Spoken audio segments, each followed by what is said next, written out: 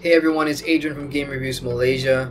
Um, the channel has hit 349 or 350 subscribers now, and I want to say thanks to everyone um, for your support and in helping the channel grow. So, as a thank you, I want to put the power in your hands um, to help me decide which MMO I'll cover for the next top 10 reasons to play video.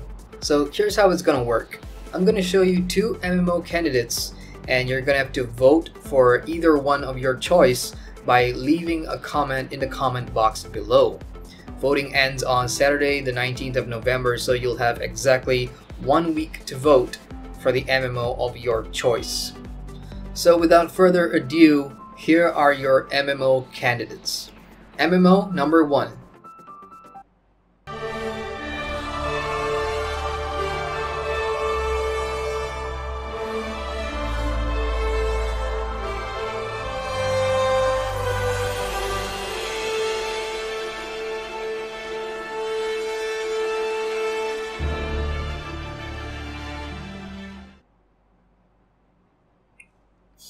MMO number two.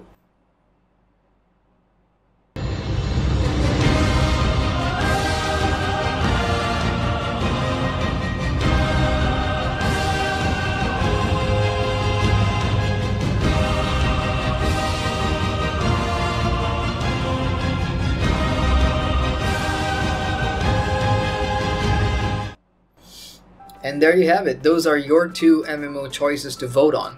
And this is really exciting for me because I've always wanted to cover these two games. With Guild Wars 2, I've been playing in and out for like a couple of years and I really like my time on Guild Wars 2. There's so much I already enjoy about the game.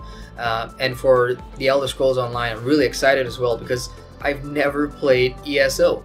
I bought it last year and it's sitting on my Steam library, but I've not installed it uh, and played it. So that's an interesting prospect as well with all the new updates I hear coming out, like uh, the one Tamriel update, for example. So yeah, I'm really looking forward to it if it wins.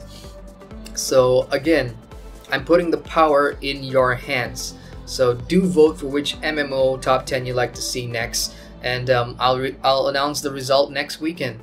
Again, if you want to vote for MMO, leave your vote in the comment box below. You have one week, people.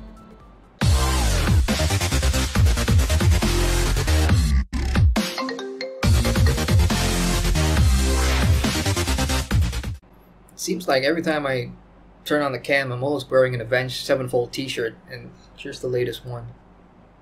What can I say? I like the band.